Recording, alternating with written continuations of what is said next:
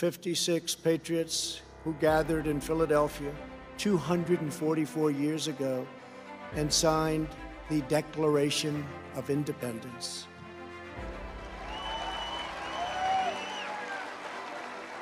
They enshrined a divine truth that changed the world forever when they said, All men are created equal. These immortal words set in motion the unstoppable march of freedom. Our founders boldly declared that we are all endowed with the same divine rights given us by our Creator in heaven. Angry mobs are trying to tear down statues of our founders, deface our most sacred memorials, and unleash a wave of violent crime in our cities. Many of these people have no idea why they're doing this, but some know exactly what they are doing. They think the American people are weak and soft and submissive. But no, the American people are strong and proud, and they will not allow our country and all of its values, history, and culture to be taken from them. Get right back into this embolism inducing media madness, but first let me tell you about this special offer from Orion Metal Exchange. What will your savings in retirement look like once we've declared victory over the virus? With stocks already down 30% from their all-time highs, no one has the answers. Did you know that it took nearly 8 years for the markets to recover after the 2008 housing bubble crash? Yet during the crash of 2008, gold and silver surged to all-time highs. Do you really have 8 years to wait for a recovery? Many Americans use this little known IRS qualified loophole that allows Americans to buy gold and silver with their retirement accounts. And the good guys at Orion Metal Exchange offer a no fee transfer in as little as two days on most accounts. Bank of America, Goldman Sachs, and Citigroup all see gold soaring, forecasting $2,000 an ounce for gold. Some experts are calling for gold to double in the next year. Orion Metal Exchange is Consumer Affairs' top rated gold IRA dealer. At Orion, you get more precious metals for your money. Call today and request a free investment kit below. Mention Dronetek Politics and get a free 1 ounce silver coin for qualified retirement account holders. Must be over 40 to qualify. Call 866 915 5053 and get your free investment guide today. At Orion, you get more precious metals for your money every day. Gee, I seem to remember a couple years ago when Donald Trump predicted that George Washington and Thomas Jefferson would be next on the left's chopping block.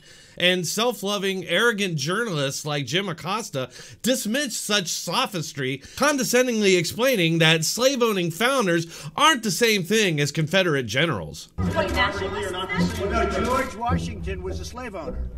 Was George Washington a slave owner? So will George Washington now lose his status? Are we going to take down? Excuse me. Are we going to take down? Are we going to take down statues to George Washington? How about Thomas Jefferson? What do you think of Thomas Jefferson? You like him? Okay, good. Are we going to take down the statue because he was a major slave owner? Now we're going to take down his statue. So you know what? It's fine. You're changing history, you're changing culture. There were articles and segments incorrectly claiming that Trump was comparing the founders to Confederate generals, which is clearly not what he was doing. He was just pointing out that the warped logic being used to take down Confederate statues would eventually be used to take down other U.S. monuments like those for George Washington and Thomas Jefferson. And in the end, all of American history, which we know is one of their goals. Over at CNN, you can find piece after piece smacking down any suggestion that the founding fathers would be next. Those guys founded the country and aren't evil like those Confederate generals were. I want you to just clarify for our viewers uh, briefly the distinction to be made between slave owning presidents and founding fathers and uh, slave owners who fought to keep the, that peculiar institution intact. Right. So uh, when you are in rebellion against the founding ideals of the country, um, That is vastly different than being a creator of those founding ideals, as imperfect as Washington was, as imperfect as Jefferson was. To focus on uh, similarities again much further down the list is to misunderstand the prioritization of the moral uh, elements that are at the top of the list. The New York Times is the same, with these snooty articles quoting Yale University professors who mock Trump's prediction, saying things like Trump's warning of a slippery slope is a red herring. There have been, after all, no calls to tear down Washington monuments. And so to me, I don't care if it's a George Washington statue or a Thomas Jefferson statue or a Robert E. Lee statue. They all need to come down. There is a way that we can recognize Angela, and appreciate. I'm not, I'm not. I'm not. I'm not. I'm not You're- you're- you're- you're I'm- but I'm not. But I'm not. But I'm not. But I'm not. No, no, no. But I'm not. But I'm not. But I'm You're not doing trying to. your I. I'm gonna. I'm gonna finish my point. That brings us to the present, and now Mount Rushmore and apparently the 4th of July have now been targeted. All those media outlets that were dismissing the idea of canceling our founding fathers because they were the good guys are now apparently fully on board with their destruction. Over at CNN, one of their reporters demonized the 4th of July as threatening to minorities while also describing Mount Rushmore as a monument to slave owners. It's almost like the Communist Party in China wrote these scripts. But the very rights being celebrated on Independence Day are the same rights that millions of Americans say they and their ancestors have not been allowed to enjoy. I think it's fair to sometimes question whether America loves African Americans as much as we love it.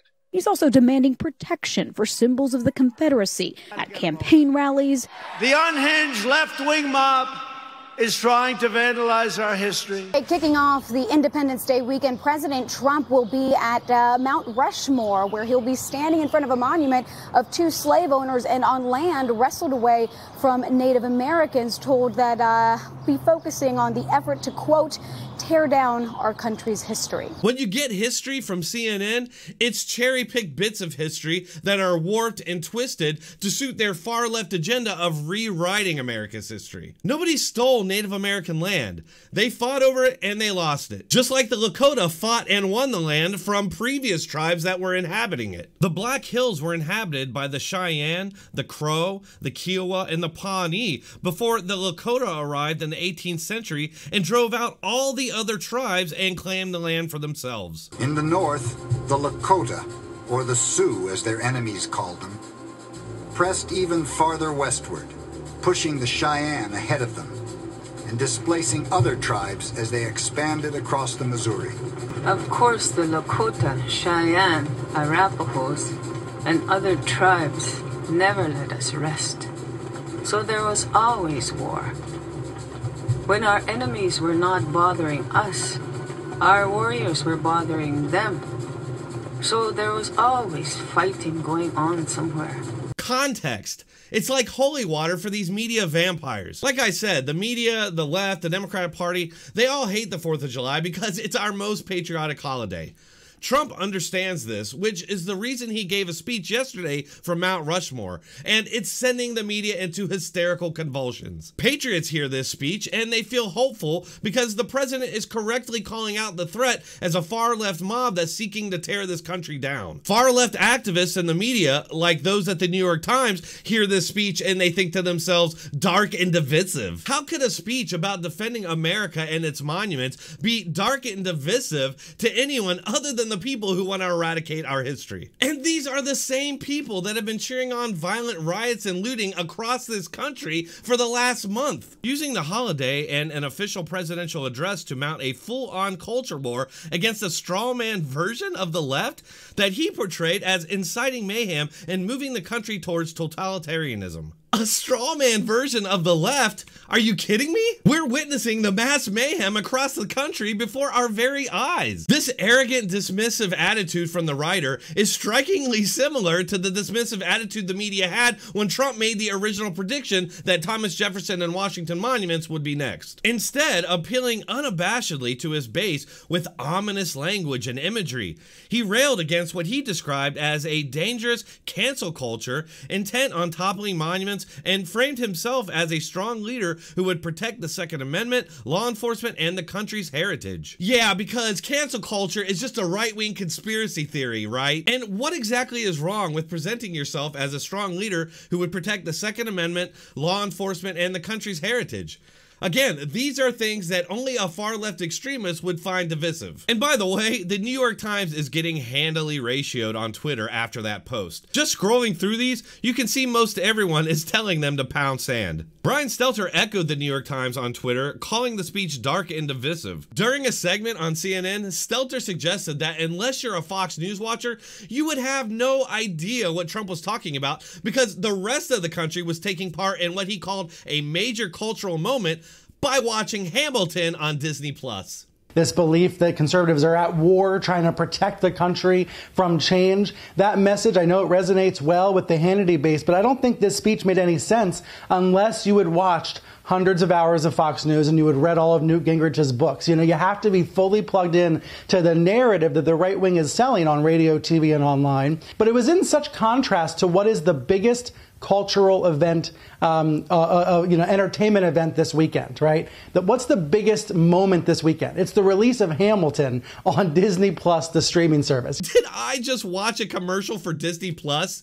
Did I seriously just hear Brian Stelter call that a major cultural moment. Stelter proves that he's either ignorant about what's going on around him, or he's just providing subterfuge as this anti-American movement gains steam. Just like they did when they mocked the idea that Thomas Jefferson and Washington monuments would be next on the chopping block. I also love how he just generalizes this idea of change as being good, saying that we all just want to stop change. As if changing into a communist hellhole would be a good thing as if defunding police or setting up autonomous zones is a good thing. It just goes to show how our media has literally been taken over by far left extremists, and it gives you a sneak peek into what it might be like in this country if they're successful in their red revolution. That's all for today's episode. Please hit that like button, share, and subscribe. If you'd like to support this channel, you can do so on one of these platforms. You can find all those links in the description and pinned comment. Thanks for watching. Keep coming back.